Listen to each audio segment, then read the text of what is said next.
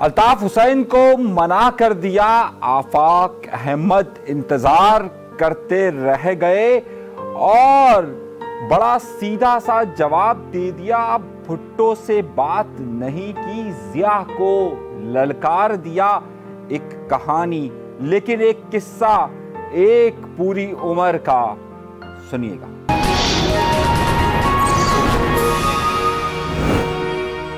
अपने प्रोग्राम का बाकायदा आगाज़ करते हैं अपने परवरदिगार के शुक्र से। कहानी को कहाँ से शुरू करूँ और उस शख्स के बारे में कहाँ से और किस तरह से गुफ्तगु करूँ, ये समझ से बाला है।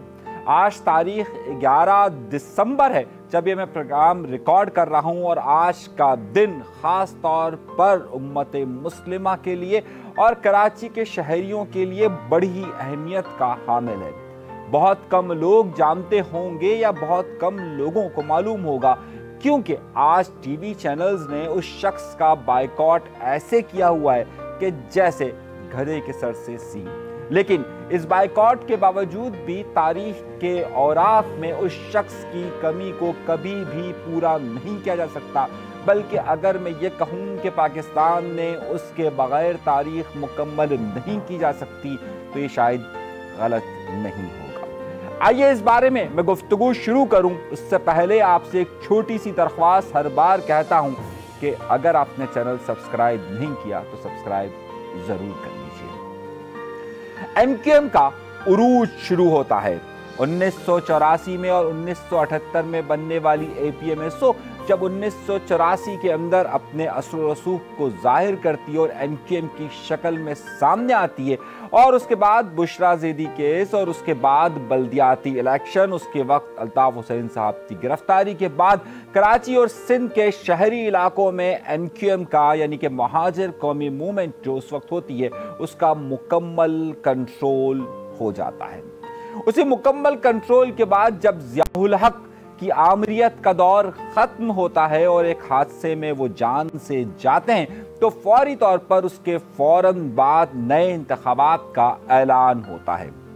कराची शहर में और सिंध के शहरी इलाकों के अगर पिछले इलेक्शंस का अगर मुआजना किया जाए और अगर देखा जाए कि जियाउल हक के ज़माने में भी जियाउल हक के ज़माने से पहले, भुट्टो के ज़माने में, जनरल याया के ज़माने में, और उससे पहले अयूब खान के दौर में भी, अगर किसी शख्स की इस शहर के अंदर असर रसूख था तो वो जमीयत इस्लाम उस वक्त की अल्लामा शाह नुरानी साहब हुआ करते थे। और यहाँ से बाकायदा वो सिंध के शहरी इलाकों से एक भारी अक्सरियत से कामयाब होते थे। मुझे एक वक्त उनका याद आता है, लेकिन उससे पहले मैं एक वाक्य का ज़िक्र करना चाहता हूँ। इतने ताकतवर शख्स और इतना असर रसूख के बावजूद भी ये शख्स अपने नज़रिए में और अपने अज़म में हमेशा पुख्ता रहा। सत्रह ज़बानों में इन्हें अबूर हासिल था और सत्रह की सत्रह ज़बानें वो रवानी के साथ बोलते थे। वर्ल्ड इस्लामिक मिशन के सरबरा थे और अपने वालिद हज़रत अलीम साहब के साथ उनकी, उन्हीं के सिलसिले को उन्होंने आगे बढ़ाया।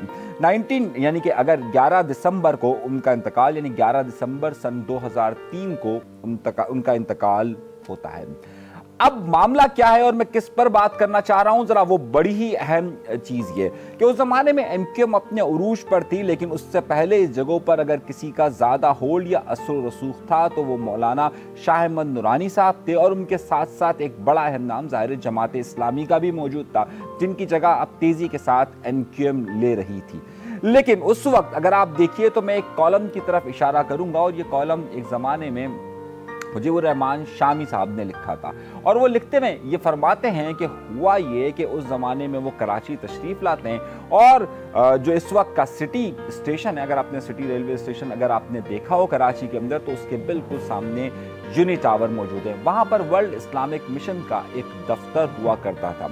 वहाँ पर शामी साहब मौजूद थे कि फ़ोन की घंटी बजती है और घंटी बजते ही ये कहा जाता है कि अल्ताफ़ हुसैन साहब मिलना चाह रहे हैं। अब आप ज़रा गौर कीजिए, ये 1988 है। उस वक्त के जब अल्ताफ़ हुसैन साहब का उरूज था और उस ज़माने में कहा जाता था कि कोई भी उनके ख़िलाफ़ वोट देना तो दूर की बात है। यानी कि उनके उनके जो राया था वो इतना था, उनके खिलाफ वोट गिनना नामुमकिन सी बात तस्वूर किया जाता था कराची और हैदराबाद और सिंध के तमाम शहरी इलाकों के अंदर। अब वाक्य कुछ यूँ होता है कि वहाँ पर फ़ोन आता है और दूसरी तरफ़ अल्ताफ हुसैन साहब होते हैं। अल्लामा शाह मंदुरानी साहब से बात करने के लिए कहा जाता है और अल्लामा शाह मंदुरानी साहब उनसे कहते हैं कि, जी, आ जाइए आप मुलाकात के लिए। वहाँ पर सब लोग अब इस बात को देख रहे होते हैं कि ज़ाहिर अल्ताफ़ हुसैन साहब मुलाकात के लिए आ रहे हैं और अल्लामा शाह नुरानी साहब से। जब ये मुलाकात के लिए आते हैं तो उस वक्त बहुत सारे लोग, उनका एक बड़ा भारी भरकम वफ्त होता है कि जिसके साथ अल्लामा शाह दुरानी साहब के पास वो आते हैं। जब वह आते हैं मुजाकर बातचीत का सिलसिला शुरू होता है तो उस वक्त ये कहा जाता है कि एम की तरफ़ से ये मौक़ रखा जाता है कि इस वक्त कराची शहर में अगर हमारा किसी से मुकाबला है तो वो जमात इस्लामी है। और ज़ाहिर सी बात है, इस वक्त, उस ज़माने में जमात इस्लामी नई नई ज़ाहिर उस वक्त ज़्यादा दौर में जमात इस्लामी का काफ़ी असर रसूख था। और A P M S O के बनने और A P M S O से जो झगड़े का सिलसिला भी ज़ाहिर है, जमीयत तलबा इस्लाम से उस वक्त शुरू हुआ था, जब A P M S O के लोगों को हटाया गया था। और उसके बाद जमीयत से ही इनका मुकाबला और जमात इस्लामी से ही ज़्यादा मुकाबला था। तो वहाँ पर ये ऑफ़र दी जाती है अल्लामा शाह नुरानी साहब को, और वहाँ पर मुजाकर में बात आती है कि करीबन कराची शहर की आठ कौमी असम्बली की नशस्तें और बारह सूबाई असम्बली की जो नशस्तें हैं सिंध के शहरी इलाकों की, वो अल्लामा शाह नुरानी साहब ले लें। उनके मुकाबले में कोई भी उम्मीदवार खड़ा नहीं किया जाएगा। एम क्यू एम की तरफ़ से, यानी कि एम क्यू एम जो उस वक्त ताकतवर होती है, और उसके बदले में जहाँ जहाँ एम क्यू एम खड़ी है, वहाँ से अल्लामा शाह नुरानी अपने लोग खड़े ना करें। मामला ज़ाहिर है, उस ज़माने में ये एक ऑफ़र उस वक्त के नई नई जमहूरियत बहाल होने की तरफ़ जा रही होती है। ज़िया की आमरीत ख़त्म हो चुकी होती है और ज़िया की आमरीत के ख़िलाफ़ अलामा शाह नूरानी का एक किरदार वाज तौर पर सामने होता है। लेकिन उस वक्त ये मुजाकर नहीं हो पाते और अलामा शाह नूरानी को उस वक्त एम क्यू एम का वक्त, जो कि अल्ताफ़ हुसैन साहब की क्यादत में मौजूद होता है और शामी साहब इसको दर्ज भी करते हैं अपने कॉलम के अंदर, उसमें ये बात का कहते हैं कि जी देखिए, इस वक्त आप भी क्योंकि उर्दू बोलने वाले हैं, आप भी महाजिर हैं, अब आपको ये बात मालूम होगी कि अल्लामा शाह दुरानी साहब का ताल्लुक़ जो उस वक्त से हिजरत कर कर आए थे उन्नीस सौ सैंतालीस में और उसने पाकिस्तान को ही अपना मस्कन बनाया था। और पाकिस्तान में और ख़ास तौर पर सिंध के शहरी इलाकों के अंदर अल्लामा शाह दुरानी साहब की इसीलिए ज़्यादा हैसियत और ज़्यादा मज़बूत पोजीशन तस्वुर की जाती थी। लेकिन उस वक्त इन मुजाकर का नतीजा नहीं निकल पाता। अल्ताफ़ हुसैन साहब की क्यादत में आने वाला वफ्त उन्हें कहता है कि आप भी महाजर हैं और हम आपके हक में बैठने के लिए तैयार हैं। दूसरी तरफ़ से अल्लामा शाह दुरानी साहब कहते हैं कि अगर उर्दू बोलने वालों की ही बात की जाए तो नेहरू भी उर्दू बोलने वाला था, लेकिन हम जो है वो उस पर इतिहाद नहीं करेंगे। यहाँ से अल्लामा शाह दुरानी साहब और एम के दरमियान एक रिफ्ट का आगाज़ होता है। आर ग्राउंड के अंदर जब अलामा शाह नूरानी साहब खिताब कर रहे होते हैं तो उस वक्त उनके जलसा पूरा तहस नहस हो जाता है और वहाँ फायरिंग का एक बड़ा मशहूर वाक़ भी होता है। शायद आप लोगों को, जो लोग इसमें लेकिन मैं बात क्या करना चाहता हूँ, ज़रा इस बात को देखिएगा। उस वक्त यानी कि जब और उसके बाद फिर ऐसा भी हुआ कि एक एम पर जब ऑपरेशन का सिलसिला शुरू हुआ और उस वक्त कई वहाँ पर अमवात का सिलसिला शुरू हुआ तो अल्लामा शामन नूरानी उन आ, लोगों में शामिल थे कि जो उस वक्त आ, उस वक्त इस खून खराबे की शदीद मुखालफत करते थे और उस ऑपरेशन के भी मुखालिफ थे। नुकता यहाँ पर आगे नहीं रुकता। एक बार का ज़िक्र है। मैं उन वाक़ात का ज़िक्र चंद वाक़ात का ज़िक्र करना चाहता हूँ। 1970 का आइन बन रहा था, इकहत्तर का आइन बन रहा था, यानी कि जो बाद में तिहत्तर में मंजूर हुआ और अलामा शाह मंदुरानी उस आइनी कमेटी का हिस्सा थे।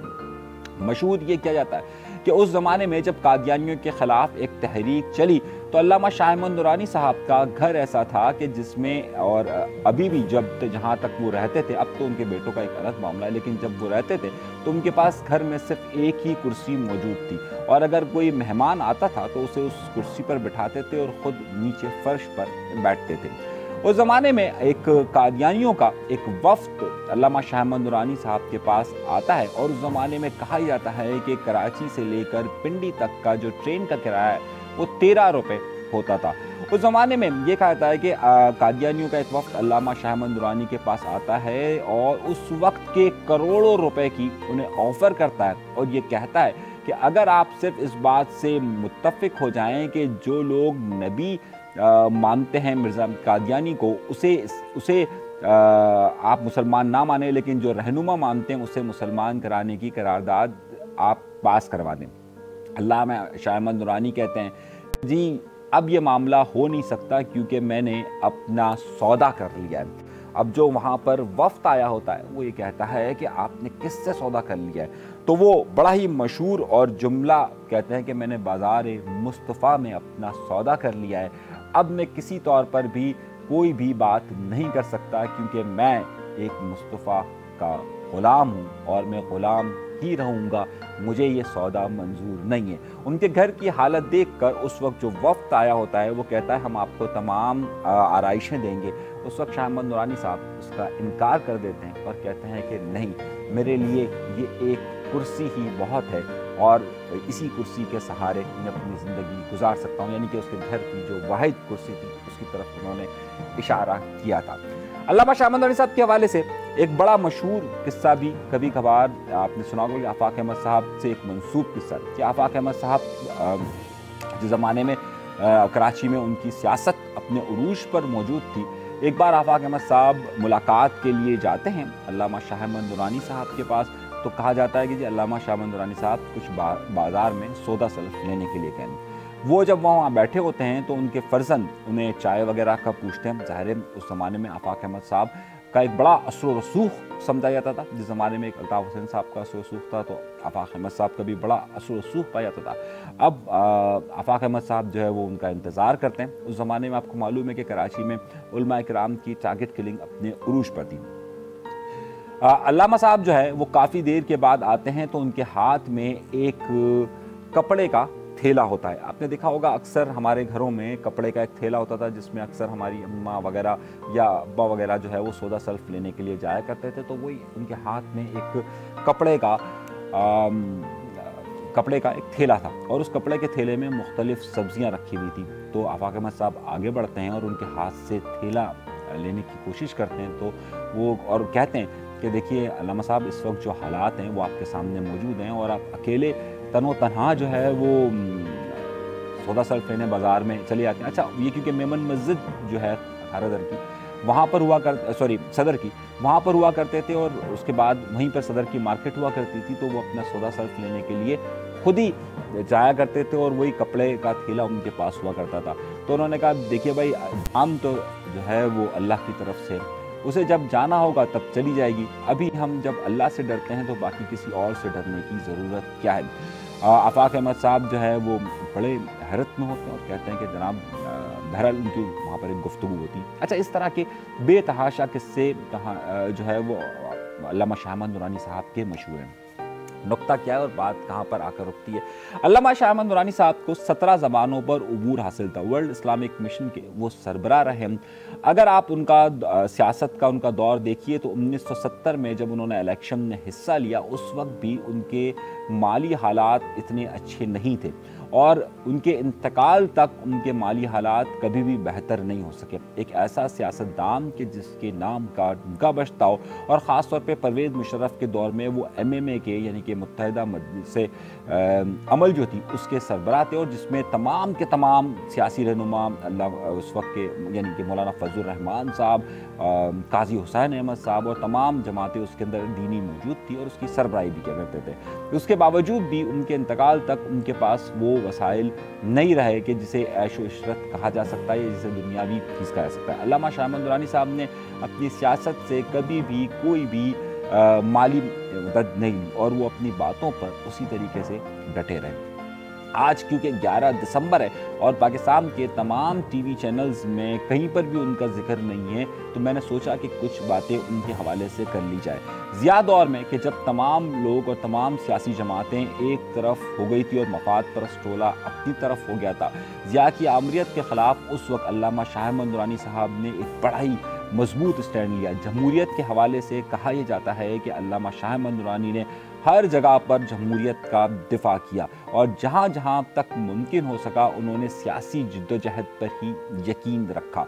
एक बड़ा अहम मामला उस ज़माने का मुझे बहुत अच्छी तरीके से याद है और शायद उस वक्त की काफ़ी लोग इस बात को बयान भी कर सके कि जिस ज़माने में कराची में ऑपरेशन शुरू हुआ और सुन्नी तहरीक के दफ्तर का बड़ा मुहासरा कर लिया गया था और उस वक्त कहा ही जा रहा था कि कोई भी गुफ्त शनी नहीं हो सकेगी, उस वक्त अलामा शाहमद दुरानी साहब ने बड़ा अहम किरदार अदा किया था और बड़ा ही नाम उस वक्त उनका तस्वर होता अच्छा ये छोटे छोटे मामला आप कर रहा हूँ। मुतहदा मजलिस अमल का जब मामला हुआ और तमाम कराम को तमाम दीनी जमातों को जब एक करने की बात हुई तो उस वक्त ये कहा जाता था कि ये तमाम लोग एक दूसरे के पीछे नमाज़ नहीं पढ़ते, ये एक कैसे होंगे? लेकिन उस वक्त अल्लामा शाहमान नूरानी साहब ने ये कदम आगे बढ़ाया और तमाम मकातब फ़िक्र के लोग, उसमें चाहे बरेलवी मसलक के लोग हों, देवबंद मसलक के लोग हों, अहल तशी मसलक के लोग हों या फिर अहल हदीस हो, उन सबको एक जगह पर जमा कर कर ये इतिहाद बनाया था, जिसकी बाद में खबर पख्तूनख्वा के अंदर हुकूमत भी कायम हुई और एक बड़ा असर उनका उस ज़माने के अंदर शामिल रहा और बड़ा ही नाम रहा। अच्छा इसी तरीके से बेनज़ीर भुट्टो साहबा का दौर हुकूमत हो या नवाज़ शरीफ साहब का दौर हुकूमत हो, उन्होंने हमेशा अपने असूलों पर कभी भी समझौता नहीं किया। आज का ये प्रोग्राम सिर्फ़ उन्हीं वाक़ात के हवाले से और उन्हीं बातों के हवाले से था कि एक बड़ा आलिम दीन एक जिन्होंने हिजरत की और उसके बाद उन्होंने अपने असूलों पर कभी भी कंप्रोमाइज़ नहीं किया। ये चंद वाक़ात बयान करने का मकसद सिर्फ़ और सिर्फ़ ये था कि पाकिस्तान के अंदर ऐसे भी कराम गुजरे हैं या मौजूद हैं और ऐसे भी सियासी दान मौजूद हैं कि जिन्होंने कभी भी अपने असूलों पर समझौता नहीं किया और हमेशा जो कहा उस पर कायम रहे। तारीख़ उन्हें किस हवालों से याद रखती है? ये एक अलग बहस है, लेकिन आज के लिए, अभी के लिए इतना ही। और हमारा इख्तलाफ उनसे मसल की बुनियादों पर हो सकता है, इख्तलाफ उनके सियासी नज़रियात की बुनियाद पर हो सकता है, इख्तलाफ उनके तर्ज अमल की वजह से हो सकता है। लेकिन ये बात ज़रूर माननी चाहिए कि जो शख्स भी हो, जैसा भी हो, जिस किसी भी उसूल पर हो, लेकिन अगर वो अपनी बात पर कायम रहता है और एक सियासी जमहूरी जद्दोजहद को उसी अंदाज में करता है तो यकीनी तौर पर उसे खराज अकीदत ज़रूर पेश करना चाहिए कि वो अपने असूलों पर हमेशा कायम रहे। अब उस पर बहस हो सकती है कि ठीक था या नहीं था, वो एक अलग बात है, लेकिन वो हमेशा अपने असूल पर कायम रहे। आज के लिए इतना ही। ख़ास तौर पे सेगमेंट अल्लामा शाह मंदवानी साहब के हवाले से और मैं वाक़ात बहुत सारे हैं। मैं आप यकीन मानिए अल्लामा शाह मंदवानी साहब के वाक़ात की अगर तफसील शुरू करूँ 1968 से लेकर अब तक की तो आपको ऐसे हज़ारों में किस्से सुना सकता हूँ। लेकिन ये चंद मोटे मोटे किस्से सुनाने का मकसद सिर्फ़ ये था। या ये वाक़ात सुनाने का मकसद सिर्फ़ ये था कि हम सिर्फ़ इस वक्त उनको खराज तहसीन पेश कर रहे हैं, खराज अकीदत पेश कर रहे हैं, इसलिए उनका ज़िक्र करना इस वक्त सभी का अपना बहुत सा ख्याल रखिएगा अनिस मंसूरी को अभी के लिए दीजिए इजाज़त।